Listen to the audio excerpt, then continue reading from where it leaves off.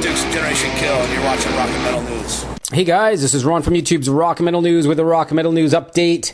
Some uh, cool news for you Van Halen fans out there. Uh, currently, Van Halen are touring Japan and played a show in Tokyo on June 21st. Well, you can watch the full show in the link in the description of this video, right from the front stage. Uh, there's some fan film footage. It's uh, pretty good quality. Check it out. You can watch the, the full concert and also check out some pics uh, from the show as well and the set list is in the description of the video as well.